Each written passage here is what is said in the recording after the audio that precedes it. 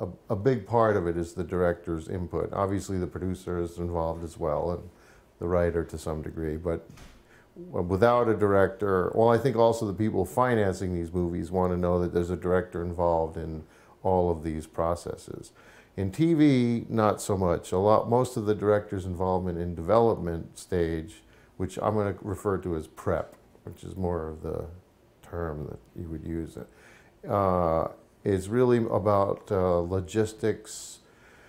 Um, this whatever the guest cast, you're you're involved in selection with a big committee of other people uh, of the guest cast and uh, location selection. Again, there's committees of other people that have a say in it, but uh, uh, the director has a pretty big input on that. And um, any sets that are not usual on the show. The director would be involved with design of that. I mean, I've gotten involved with where's the door, you know, where are the stairs, is the bed against the wall or sticking out from the wall or whatever.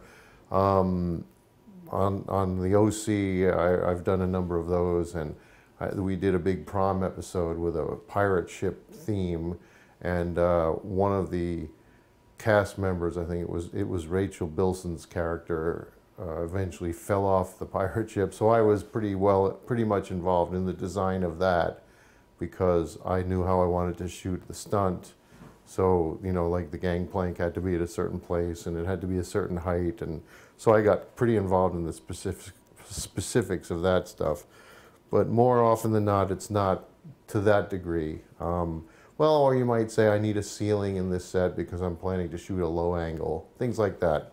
And then obviously in the scheduling on a TV show, the director, I mean the AD and the line producer do a lot of the schedule and the board, and sometimes it's even done before the director starts.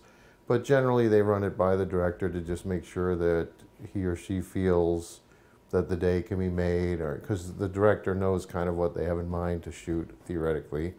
So, um, you know, there's some involvement in that as well. Although I find that most of the time these shows you know, the, the production knows pretty much what they can accomplish in a day. So that part is not as, as um, critical for the director to be involved with. I think I could probably safely say that if I never saw the board, I probably could still shoot the show and it would all go fine based on what they think they can do because they know what the crew could do, etc.